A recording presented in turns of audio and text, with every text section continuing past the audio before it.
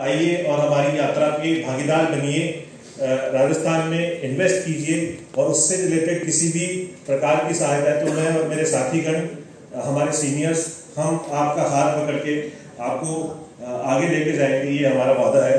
तो पहला मैं इनविटेशन देता हूँ राजस्थान में इन्वेस्ट करने के लिए। दूसरा इन्विटेशन देता हूँ, जो मुख्यमंत्री महोदय की अध्यक्षता में सात और आठ अक्टूबर को इन्वेस्टमेंट समिट हो रहा है राजस्थान में, उसमें आप पधारिए और जो गौरव यात्रा है, उसको अपनी आँखों से स्वयं देखिए। तो सात और आठ अक्टूबर को हम सब आपका इंतज़ार करेंगे जयपुर में। उसके लिए मैं आपको आमंत्रित करता हूँ। और अंत में मैं आप सभी को वर्तमान सभागार में हाईटी के लिए आमंत्रित करता हूँ। धन्यवाद।